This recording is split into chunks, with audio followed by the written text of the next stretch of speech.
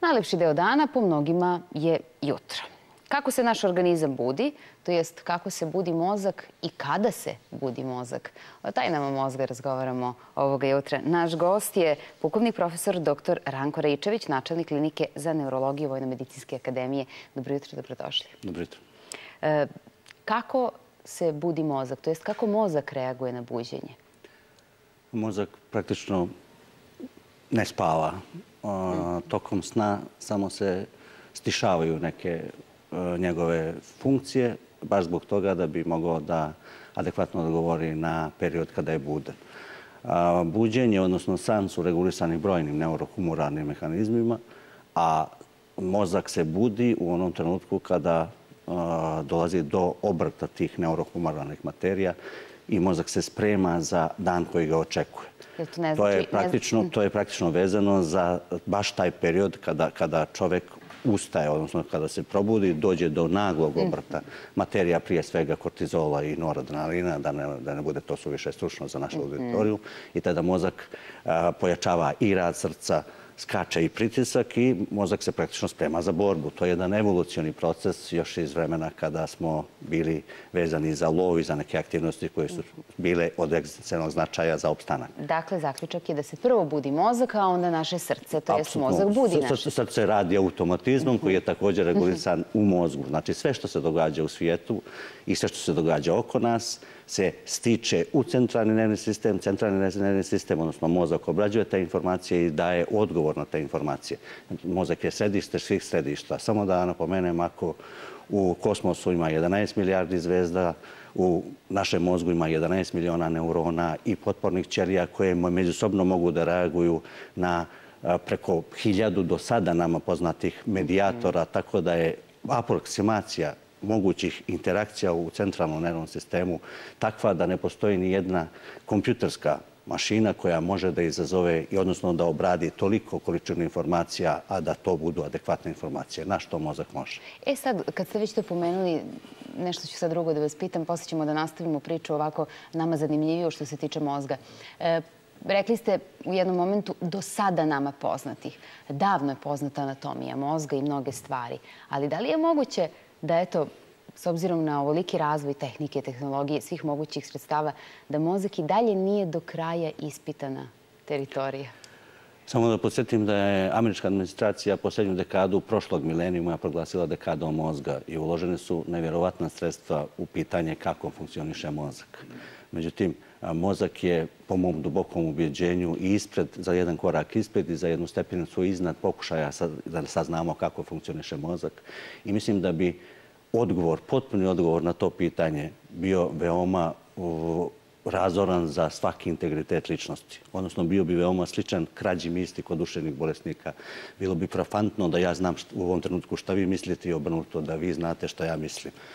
Mozak apsolutno postoji baš u tom evolucijalnom smislu kao brana tim pokušajima da se potpuno sagleda funkcionisanje. Ali svakako napredak nauke, a posebno neuronauka je takav da smo praktično u onom periodu kada smo znali osnovne postulate, sada došli da znamo mnogo više. Međutim, i to je dalje 10%, pa čak i aproksimativno 10% mhm. od onoga što bi se moglo pretpostaviti da mozak zna i može. E, e, sada malo o funkcijama koje onako nama naravno e, su neophodne. Kada mozak najbolje pamti? Da li je to baš jutro?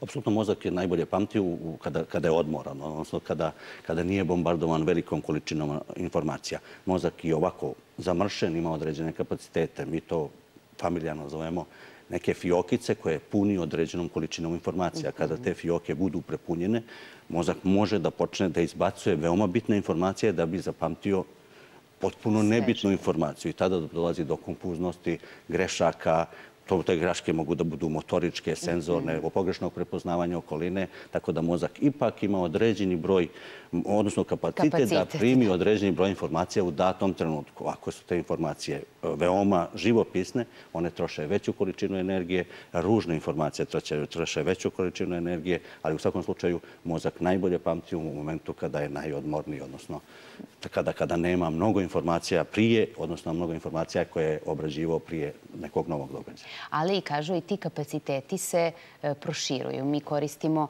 e, jedan sužen e, procenat kapaciteta. Međutim, barem tako se tvrdi, moguće ih je proširiti kapacitete mozga tako što se određenim vežbama, treninzima i radom to postiže. A vi nam recite kako?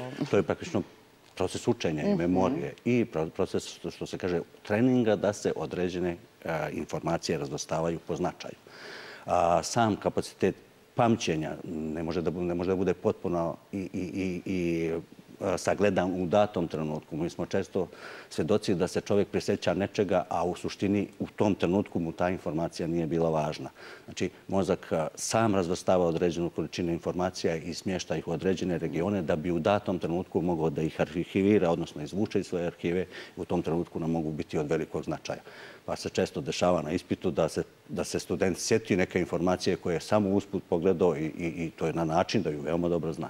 E, to se često dešava, ali se i još češće dešava pojedincima, evo ja bar mogu to da kažem u svoje ime, e, kad kažem samo pamtim gluposti, zaista čujete neku potpuno vama možda nebitnu stvar, informaciju e, i to se tako rogomila i na kraju vi shvatite da vi sve to znate, da ste vi to sve zapamtili, a da su prošle godine.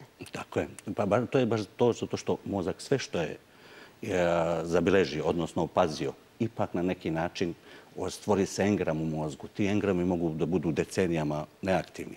Ali neka informacija koja je najčešće asocijativnog karaktera povuče iz arhive tako vrstu informacije, ako su one kako vi to kažete, često neprijatne ili su gluposti, mhm. onda se te informacije dijelom vežu za tu informaciju. Tako da je to jedna veoma zamršena mreža koju mi često, čak i kao neurolozi, kao bazični naučnici, ne možemo u potpunosti da se gledamo koja je posljedica tih događaja. I ako kažemo da mozak najbolje pamti e, u ranim jutrnim časovima, to jest e, kada je najodmorniji, sve zavisi od koga, e, sve zavisi od osobe do osobe koje je to vreme.